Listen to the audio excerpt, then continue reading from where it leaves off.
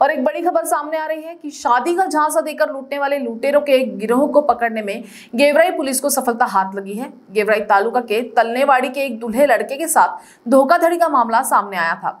शादी के आठ दिन बाद दुल्हन किसी काम को लेकर बाहर गई और उसके बाद वापस ही नहीं लौटी, जिसके चलते दूल्हे की शिकायत पर गेवराई थाने में दुल्हन समेत पाँच लोगों के खिलाफ मामला दर्ज किया गया। इस मामले में पुलिस ने मुख्य सूत्रधार रामकिशन जगन्नाथ तपड़िया को गिरफ़्तार करने में कामयाबी हासिल की है। दिनांक बारा एप्रिल दोन हजार बावीस रोजी गेवराई पोलीस ठाणे येथे तक्रारदार नामे कृष्णा फरताळे राहणार तळणेवाडी यांच्या तक्रारीवरून बनावट लग्न केले प्रकरणी चार आरोपितांविरुद्ध फसवणुकीचा गुन्हा दाखल करण्यात आला होता.